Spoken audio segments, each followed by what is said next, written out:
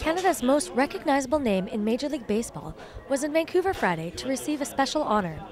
Ferguson Jenkins was awarded a stamp this month to celebrate his contributions to Canadian black history. Well, it's, it's quite, quite incredible to have a commemorative stamp for Black History Month.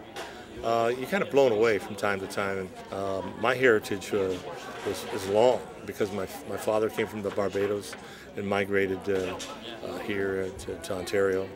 Uh, he wasn't born yet, but his family came here. He was born in Windsor, 1909, and my mother's uh, family came through the Underground Railroad.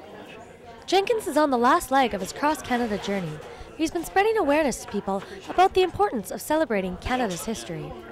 Well, we've been talking to schools, uh, high schools, public schools, and just letting them know the rich heritage of, of Ontario and also of, of Canada. And, and, it's great for the country because of the fact that there's so many people have come here and now they're living here and prosperous.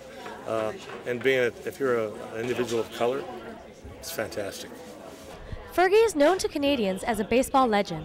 He's won numerous awards, including being the only Canadian to ever be inducted into the Major League Baseball Hall of Fame. You get blown away from, from a lot of the accolades. You know, I did a lot of things in sports, and out of the, the sporting uh, celebrity part of it, all of a sudden you get the Walk of Fame, the Order of Canada, and now the stamp. And I've been retired almost 30 years, so it's nice to have people still remember what I did as a professional athlete.